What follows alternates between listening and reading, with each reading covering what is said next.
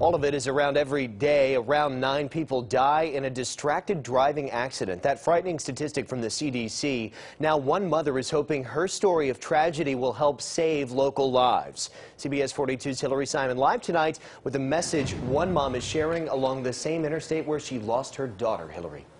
Yeah, Jack, we've done stories before about Cece Calloway from Alabaster that died while texting and driving last year. Her mother, Michelle, says they soon will have a billboard near I-65 and Green Springs Highway with her daughter's face, and she hopes people will get the message and put that phone down.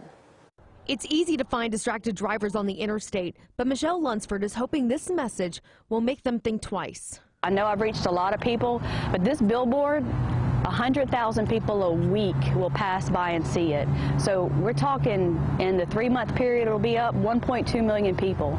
Uh, I, that to me is even more so impactful. Lunsford says the timing of this billboard commemorates a lot of significant dates. It's going to be up Monday, January 21st through April the 14th, which will uh, she passed away February 22nd. It will honor that day, her birthday in March, and also the hands-free bill that's going to be in Montgomery the second week of March. Meanwhile, Talladega County, Childersburg High School is sending a message about distracted driving too.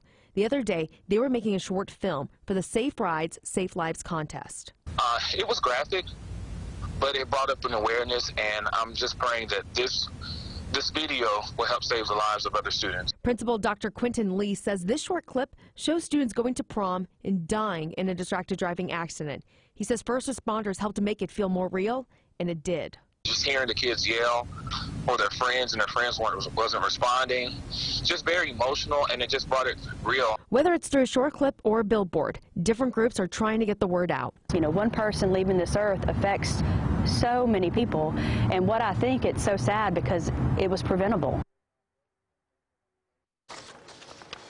Now, now, we've done stories before about Cece Calloway. Now, that billboard is expected to go up Monday, January 21st, and be up for three months. She says she hopes senators and legislators pass this as they head to Montgomery and hopefully vote for the hands-free bill that'll ban holding your phone while driving, just like in Georgia. Hillary Simon, CBS 42 News, local coverage you can count on.